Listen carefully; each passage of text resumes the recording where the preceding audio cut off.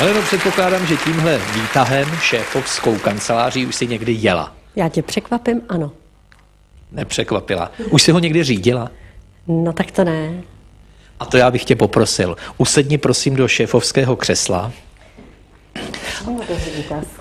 Je to jednoduché, nic víc, než zmačknout eh, knoflík s příslušnou etáží. Zvolil Kam bych pojedem? 16. 16. 16. Výborně. Mohu? No, Už teď hned? Jo, hned, hned, hned. Tak, pozor. Výborně. Děkuji. A teď už se ptám. No, ono to R- fakt jede. Jede, jede. Eh, Ráda řídíš, nebo si ráda řízena?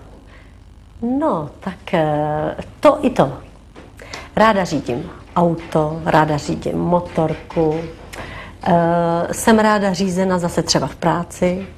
Co doma, co doma? No tak u nás je to tak, jako bych řekla, půl na půl. Jednou můj muž, jednou já. Každý chvilku tahá pilku, prostě.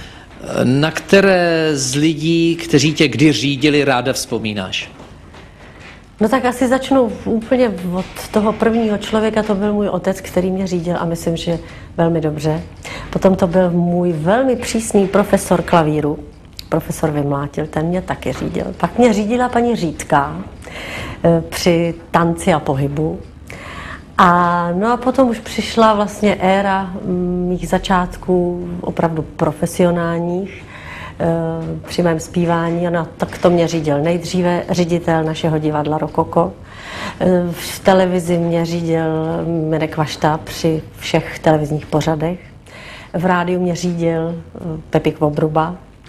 No a pak jich bylo spousta a spousta, kdybych měla jmenovat Boban Ondráček, Vítě Hádl, Luděk Švábenský, Jeníček Neckář, Gustav Brom, no prostě těch lidí, co mě řídilo, vlastně vidíte, bylo víc, než to, co jsem řídila já.